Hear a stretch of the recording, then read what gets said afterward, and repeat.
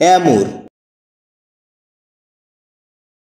শব্দটি বাক্যে নাউন হিসেবে ব্যবহৃত হয় যার অর্থ হচ্ছে গোপন প্রণয় গুপ্ত প্রণয় অবৈধ প্রণয় আদর প্রীতি প্রেম ভালোবাসা প্রণয়লীলা প্রণয় পর্ব প্রণয় ঘটিত ব্যাপার ইত্যাদি।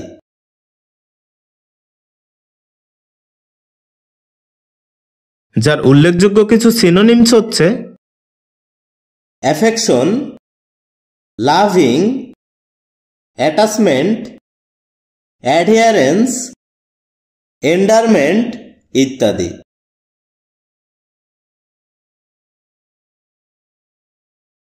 যার ইংরেজি প্রতিশব্দ হচ্ছে a secret or illicit love affair